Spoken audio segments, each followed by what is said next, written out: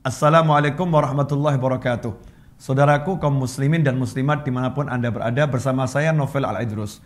Pada kesempatan ini saya akan memberikan cara yang diajarkan oleh Nabi Muhammad SAW agar kita ketika duduk bersama saudara, bersama teman, bersama rekan bisnis atau siapa pun kita selamat dari hal-hal yang diharamkan oleh Allah Subhanahu wa taala.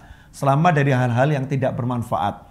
Kalau toh seandainya ketika kita duduk di suatu tempat bersama teman-teman kita ngurumpi, kongko, ngobrol apa pun, kemudian terjerumus pada perbuatan yang Allah haramkan atau yang sia-sia, maka yang kita lakukan ini insya Allah akan menjadi penghapus semua dosa yang terjadi di dalam majelis. Bagaimana caranya? Yang pertama, yang pertama sebelum duduk, ketika akan duduk, ucapkan zikir kepada Allah Ta'ala. Semisal mengucapkan Bismillahirrahmanirrahim, baca basmalah Ya, ketika akan duduk baca basmalah.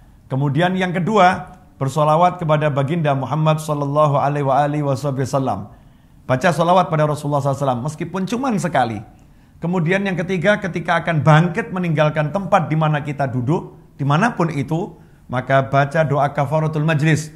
Baginda Muhammad SAW menyatakan, siapa duduk di suatu tempat, Kemudian ketika dia akan bangkit meninggalkan tempat itu, dia mengucapkan doa kafaratul majlis yang berbunyi Subhanakallahumma wa bihamdika ashhadu an la ilaha illa anta astaghfiruka wa atubu ilaik.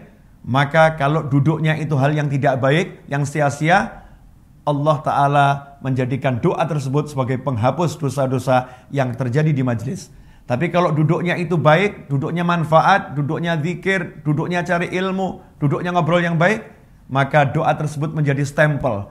Di stempel artinya diterima majelisnya oleh Allah Subhanahu wa taala. Amalkan dan ajarkan ini agar ketika kita duduk selamat dari hal-hal yang diharamkan Allah dan kalau melakukan yang diharamkan Allah kita mendapatkan ampunan dari Allah Subhanahu wa taala saat kita bangkit dari duduk kita. Selamat beramal, semoga barokah dan manfaat. Wassalamualaikum warahmatullahi wabarakatuh.